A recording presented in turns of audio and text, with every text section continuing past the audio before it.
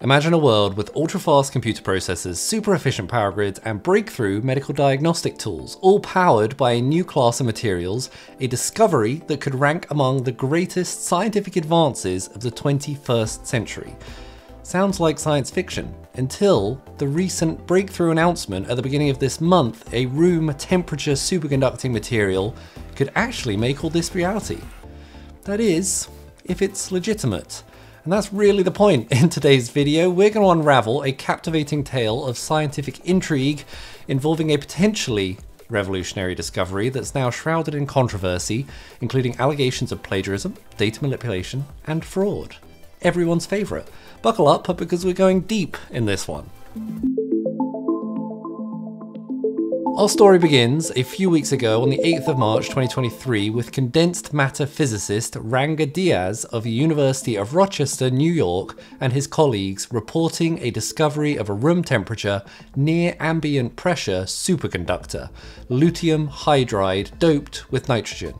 NLH. Superconductors are a material where electrons can travel with zero resistance. Zero resistance means zero power loss to heat or other effects, so superconductors can enable quantum computers, magnetic levitating trains, generally reduce the energy demands of the planet by making our power grid incredibly ultra efficient. Now superconductivity isn't really new. In fact, it's been around for over a century, with the first superconductor, mercury, being discovered in around 1910. Since then, scientists have found many more materials that exhibit zero electrical resistance, the catch, however, is that all of these materials need to be cooled to incredibly low temperatures, making them costly and impractical for widespread use. The earliest of superconductors could only remain in a superconducting state up to about 25 Kelvin. That's about 10 times hotter than the vacuum of space, but still incredibly cold. It wasn't until the 80s when researchers discovered high temperature superconductors operating at something like 90 Kelvin or so, the temperature of liquid nitrogen.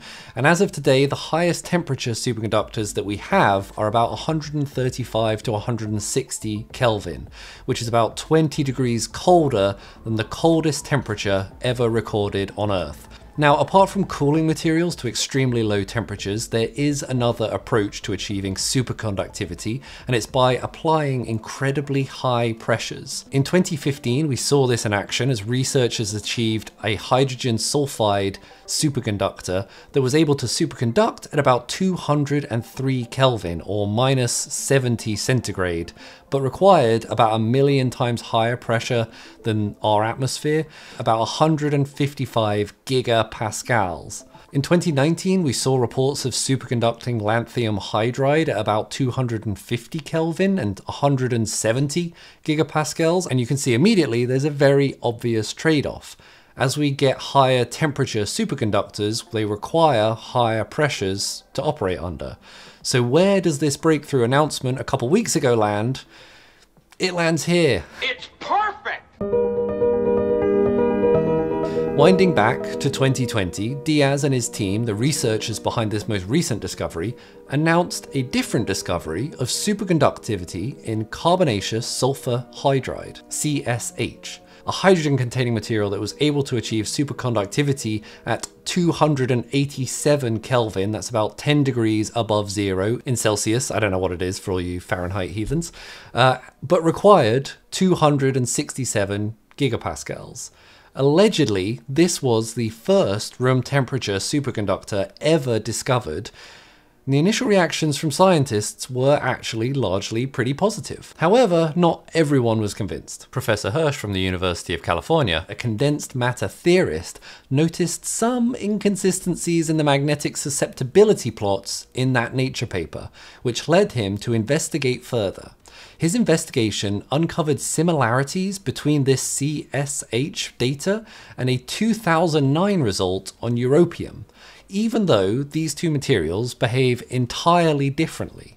And the interesting thing is both had measurements conducted by the very same person, Matthew Debessai. Although Debessai, whose name I might be butchering, refused to hand over the original data, an unsuspecting co-author of that paper, thinking they were setting out to examine the results and defend them, actually found evidence that the magnetic susceptibility data appeared to have been copied and pasted from one temperature range to another temperature range.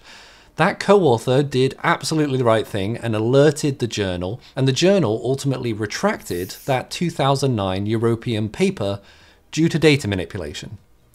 As you can imagine, this raised some level of concern about the CSH susceptibility data. When other researchers attempted to reproduce Dias's results, they were frustratingly unable to. They couldn't even synthesize the CSH material, let alone observe any evidence whatsoever of superconductivity. And theoretical physicists out there also struggled to model the CSH result. Lilia Boeri from the University of Rome noted that not a single structure containing carbon, sulfur, and hydrogen was capable of superconducting had ever been found in the two and a half years of investigation since that first paper was released. And kind of unhelpfully, honestly, particularly given the scrutiny that he was under, Dias refused to provide the CSH data files claiming on his part that his patent application process prevented him from sharing them, which to be fair, I guess, could have some level of merit. There's a one year window after you file a patent where you go to strengthen its claims and improve the data quality. You generally try and avoid disclosing information during this period because if the patent isn't successful, you will have publicly disclosed your results and so they won't be patentable in the future because you can't patent things that the public already knows about. However, I think facing such accusations, you could have absolutely released your data under some sort of confidentiality agreement to selected named individuals. That didn't happen, however, because in December of 2021, two days after the europium paper was retracted, Dias and Salamat, one of his co-authors, changed their minds and suddenly published the complete dataset for the magnetic susceptibility measurements in an odd act of sudden transparency, totally not prompted by the fact his previous paper got retracted. So that dataset gets released in 2021, and almost immediately, Hirsch and one of his colleagues, Dirk van der Marel, a condensed matter physicist, spotted some problems in the data. And now, without getting too deep into signal processing and noise reduction techniques, as fascinating as they are, they are not the point of the video, the signal that they detected coming out of these measurements will have had some noise associated with it and with the system being measured in general. There also, in all measurements, is a background signal that similarly has noise on it. This could be things like the electronics, the ambient frequencies, or any other sources of just general noise. To clean up a measurement signal, you can subtract the independently measured background noise from the measurement signal that you've recorded, and you should just be left with the signal from the measurement and its corresponding measurement related noise without any background left over.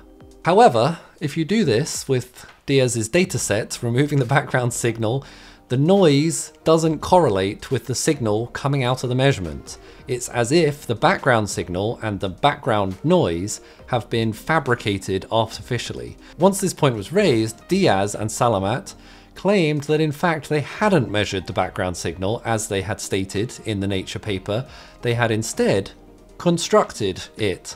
On September 26, 2022, the CSH paper was also retracted citing the non-standard method used in data analysis, which is a weird way of writing, we made up the results. Now Dias does maintain to this day that the data is valid, but this explanation doesn't account for the data relationships observed by other researchers. So our question, how does this 2023 room temperature discovery stack up? At the moment, the scientific community is, as you might imagine, reasonably skeptical and evaluating the evidence and investigating Diaz's further claims. Some of the scientists that believe Diaz hasn't committed misconduct are reasonably excited by the recent claim, and then I would say the other 99.9% are still waiting for further confirmation from other researchers in the relevant field. Having said that, this study does show some interesting things.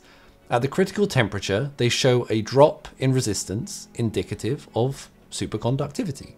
They show a peak in specific heat of the material, a property related to how readily a material changes temperature, at the appropriate point and sort of of the appropriate shape. They also demonstrate the Meissner effect, the expulsion of the magnetic field from the samples which hasn't been shown before in similar materials. But honestly, at this point, we are at such a crux that regardless of how badly you want to believe this discovery, all of the previous behavioral evidence suggests you should be reasonably suspicious. At this point, the main question is, is the data valid? Requests from researchers for samples of the material have been, again, met with refusal as the team cites patent applications in process. In a 2021 talk later posted to YouTube, Dias said they had recently raised $20 million into a spinout Unearthly Materials to further develop the science behind these and similar discoveries, citing investors including the CEO of OpenAI, Sam Altman, and the CEO of Spotify, Daniel Ek. Except it turns out this isn't true. In an article by Quanta, this has been corrected to an aspirational statement by Dias. At this point, it feels like my eyebrows need more real estate on my forehead to truly express my level of concern for this idea. Now, is it valid to worry about disclosing your idea or sending people samples of your material in case they steal it? Yes, 100% valid but sending it to an independent lab for verification under NDA and MTA material transfer agreement is 100% normal. And at this point, absolutely, before any investor, if you are thinking about it out there, should touch this with a 100 meter stick, get it independently validated under material transfer agreement by an independent research lab. Now, this is really important. We're in a weird place in science at the moment where journals like Nature, which used to be incredibly prestigious and obviously still do have very good research, cutting edge research published in them, are increasingly having to play the internet clicks game. So are going after more and more sensational sounding papers, and I think in doing so, are not doing as good of a job as they need to be to make sure some of the wilder claims are sufficiently validated before publishing. I care about this topic a lot. When I'm not making YouTube videos, I co-founded a science investment group to make sure of two things. One, that important breakthroughs in science that could change the world get the attention and the funding and the support that they need to make a difference in the world. And two, to make sure that junk science doesn't make its way out there into the world, blow up in everybody's faces, and ultimately make people scared to invest in science because that sucks and that means that no important ideas are coming out of labs and turning into reality. Looking at you, Elizabeth. Mr. Dias, I think at this point we can all say it is the world that will be waiting. I really hope that this is a radical breakthrough as we've been ultimately led to believe, but with bold claims, substantial evidence is needed to back them up. If you like this topic, check out this video I did on Spin Launch, everybody's favourite space rocket yeeting machine where I think the science is broadly valid. Still might blow up and totally not work, but the idea at least is an interesting one. Check it out.